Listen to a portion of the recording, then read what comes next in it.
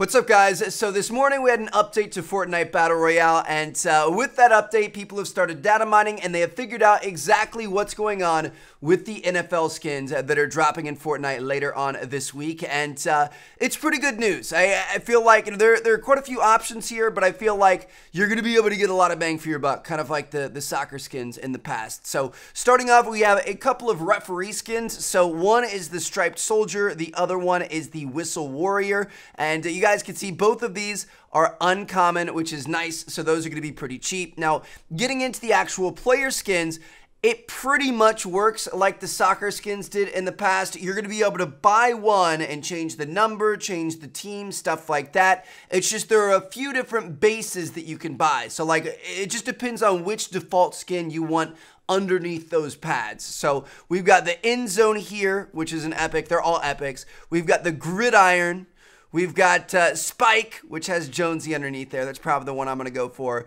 And then we've got Strong Guard. And then we've also got female options too. So we've got Blitz, we've got Interceptor, we've got Juke, and then we've got Rush. So again, you're going to be able to buy like you could just buy one of these. Let's say you want to buy, you know, for example, you want you want Tfue here. You could buy Spike, and then from there you're going to be able to customize it to any NFL team color that you want, or you can have this default color here with the purple and green Team Fortnite.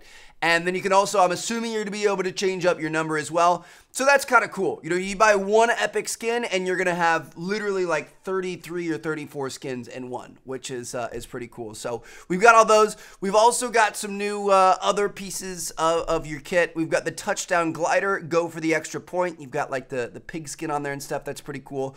We've got uh, the golden pigskin pickaxe which looks pretty sick. We've also got the first downer pickaxe and the upright pickaxe. All three of those all look really good to me, to be honest.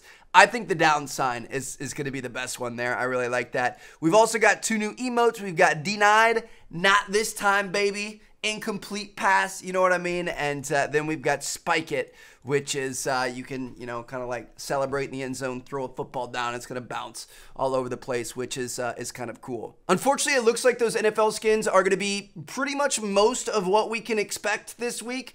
Sometimes Fortnite will add other new stuff in that isn't in the data mining that they kind of hide from people. So we'll wait and see what they do. But I would imagine those NFL skins are going to be in the shop for quite a few days. Uh, we do have this one right here, though. This is the, the final one that uh, not NFL related, I don't think. It could be the like gridiron robot from like Fox that you guys see him like spinning the football and stuff uh, in the, the pregame shows or whatever and, and like before commercials and stuff like that. But uh, I, I don't know. He looks pretty cool. The one thing I really like is down here, if we go through all these, he's got his pickaxe, which isn't bad, but uh, he has this right here. This is a back bling that displays your eliminations. It's called ELIM. It's in all caps with like dots, E.L.I.M.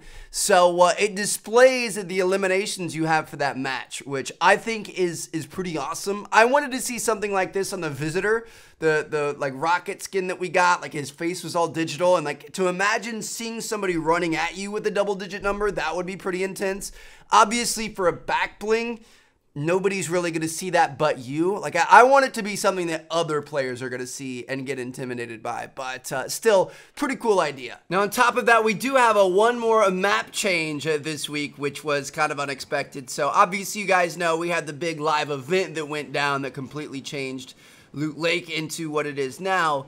For these football skins, in celebration of that, They've actually changed the uh, the football pitch to a football field. So uh, you guys can see this here, dude. This is really, really cool. We've got an actual full football field here in Pleasant Park. Go ahead and get rid of this chest in the middle. Dude, I'm hoping they come, uh, I'm hoping it comes with a, uh, a, a, what's it called? Like an actual football, like toy that you can throw around. How sick would that be, dude? Could you imagine?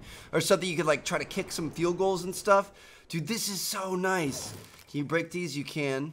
You get uh, get metal from it. But yeah, you got uh, a full 100-yard football field with the two end zones and everything, dude. I'm I'm excited about this. It's it's kind of weird because like Fortnite is such a global game. Obviously, so many people are into Fortnite all over the world, but uh, the NFL is such such an American thing, such a, a U.S. thing. So like, I, I don't know. I, I am stoked for it, and I know a lot of you guys out there are stoked for it too. But I also know there are a lot of people that are just like, bro, who cares? We don't we don't care about American football. All those all those guys do is just stand there and and wait around. I, have you guys ever seen that infographic? It's crazy. There's like only 11 minutes of actual physical exertion or something in a game.